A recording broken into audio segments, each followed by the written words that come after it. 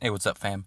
On the latest cover for the Weekly Shonen Jump magazine, it looks like there is a uh, a special kind of little pair up cover.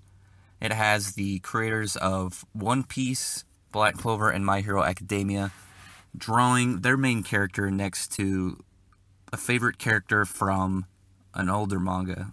And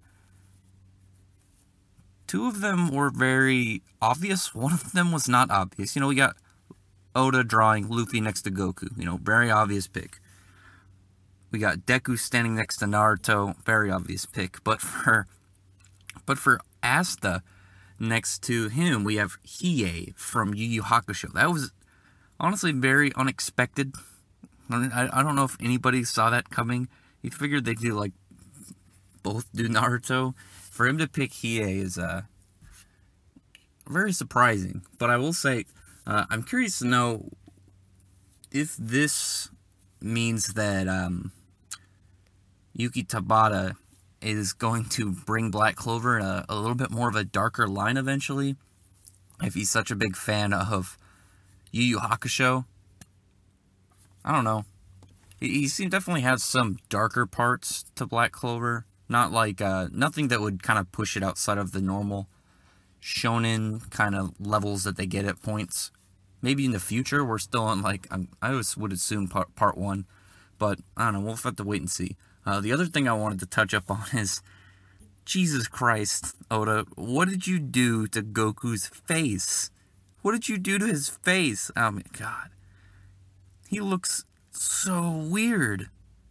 He's got like he just literally drew Luffy's face and put it like his eyebrows, nose, eyes, and mouth and put it on Goku's body.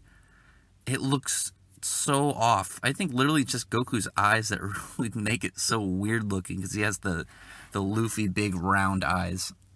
I don't know. It's it's very silly looking.